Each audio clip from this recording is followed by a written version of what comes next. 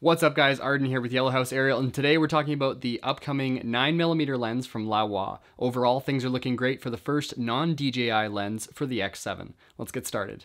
So I asked Laowa to test a copy of their 9mm DL mount lens, and kudos to them for getting back to me, but they let me know that it won't be ready probably until early next year. Now I know a lot of Inspire 2 pilots really love the Laowa 7.5mm. It's super wide, super sharp, and people just love it. Um, and the 9mm that's upcoming should bring all the things that we love about this to the X7. So if you're not familiar, the only lenses you can use on the X7 currently are these DL mount lenses from DJI. You have to pay their price, you have to buy their lenses and just stick with them. There's nothing else that's compatible with this. So this new lens from Laowa that's upcoming brings um, a selection really to the X7, which is something that we haven't had so far. And it'll be wider than any lens that you can buy from DJI, um, and it starts to give you options to buy from other manufacturers. So this 9mm DL mount was announced for Photokina, but this lens has actually been out in the wild for months. This lens was released for Fuji, Canon, and Sony mounts months ago, and overall the reviews are really positive. Overall, as far as I can tell, it's tack sharp, it's super small, but it does have this kind of funny circular round rainbow flare, but then again, you're not really using this lens for its flare characteristics. So back to the X5S for a second, this 7.5mm was the most expensive lens really that you could get for the X5S. Um, unless you were spending on something funny, most of the Olympus and Panasonic type uh, prime lenses are pretty cheap. This one came in at the most expensive at about 500 bucks US. Now, this upcoming 9mm lens will be probably about the exact same price point, um, which would make it actually remarkably cheaper than the DL mount lenses, which is pretty nice considering we're looking at a much nicer camera, uh, but a lower price point for a great performance lens. So over to tech specs, this is an APS-C lens, which means it's slightly larger coverage than Micro Four Thirds, but not quite full frame. It should be perfect for Super 35. So it's an f2.8, which is just a little bit slower than the 7.5 millimeter, but it's actually wider at 115 degrees diagonal field of view rather than 110.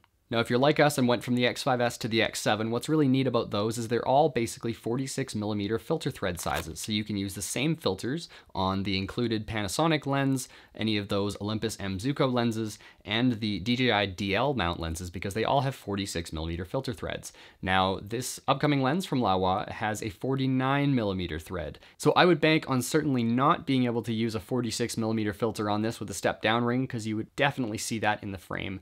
I'm honestly even worried about a 49mm filter. If it's too thick, you'll see it in the edges in the form of vignetting.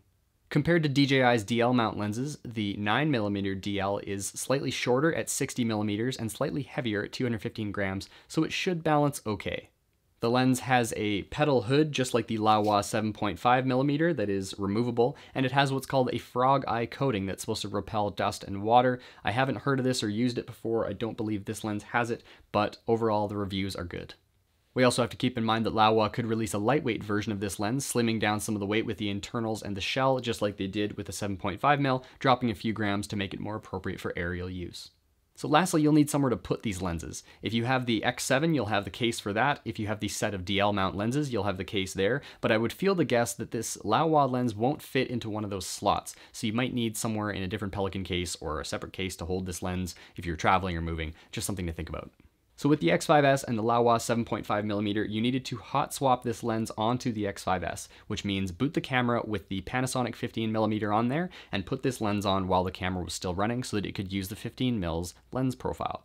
Because there was no lens or lens electronics attached to the X5S when shooting RAW files, sometimes there were issues and you needed to use a DNG cleaner to get rid of some weird artifacts and problems processing in Photoshop or Lightroom.